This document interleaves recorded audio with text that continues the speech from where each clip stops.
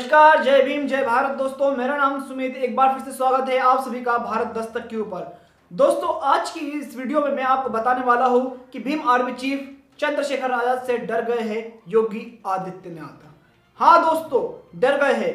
जैसा कि आपको मालूम होगा, कुछ दिन पहले भीम आर्मी चीफ चंद्रशेखर आज़ाद ने एक घोषणा करी थी कि मैं चेतावनी देता हूँ योगी आदित्यनाथ को, जो कि उत्तर प्रदेश के मुख्यमंत्री है, मैं उनके खिलाफ विधानसभा चुनाव लड़ना चाहता हूँ और जहाँ से भी वो चुनाव लड़ेंगे, किसी भी विधानसभा सीट से, मैं उस विधानसभा सीट से उनके खिलाफ चुनाव लड़ूँगा।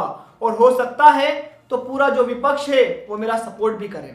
एक खबर और आई है अभी, लेटेस्ट है। इसमें लिखा है, चंद्रशेखर जी खुद बोल रहे हैं कि भीम आर्मी चीफ चंद्रशेखर ने कहा है, अगर अयोध्या से भी चुनाव लड़ने का कहते हैं योगी जी मुझे, और मुझे मेरा चैलेंज एक्सेप्ट करते हैं तो मैं अयोध्या से भी, अयोध्या नगरी से भी चुनाव लड़ने के लिए तैयार हूँ विधानसभा का, योगी जी के खिलाफ। कुछ भी हो जाए, मैं योगी जी को किसी भी हालत में मुख्यमंत्री बनते हुए नहीं देखना चाहता और ना ही बनने दूँगा, क्योंकि उनके जंगल राज में, इस यूपी के अंदर, ये चंद्रशेखर जी कह रहे हैं, मैं उनके वर्ड बता रहा हूँ।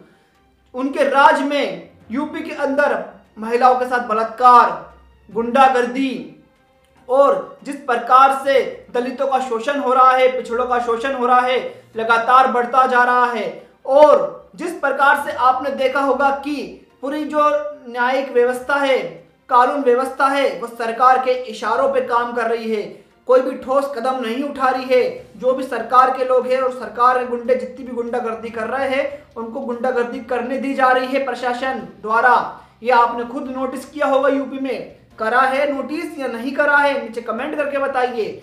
और दोस्तों, इसके बाद एक आर्टिकल और भी है, ये वाला इससे पढ़िए। इसमें क्या लिखा हुआ है कि मुख्यमंत्री तो बनना चाहते हैं योगी जी।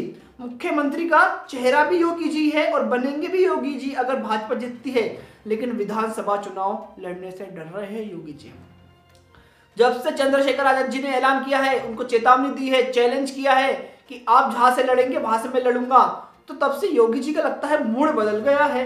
योगी जी ने चुनाव लड़ने का फैसला छोड़ दिया है, क्योंकि मुझे ऐसा लगता है, अगर चंद्रशेखर आज़ाद जी योगी जी के खिलाफ चुनाव लड़ते हैं तो हो सकता है मे बी पॉसिबल है कि पूरा विपक्ष समर्थन करते चंद्रशेखर आज़ाद का, और योगी जी चुनाव हार जाए। और वैसे भी योगी जी ने सिर्फ़ सांसद का चुनाव ही लड़ा है अभी तक, लोकसभा का। कभी भी विधानसभा चुनाव अभी तक नहीं लड़ा है। जब वो पिछली बार सीएम बने थे, तब भी नहीं लड़ा था उन्होंने।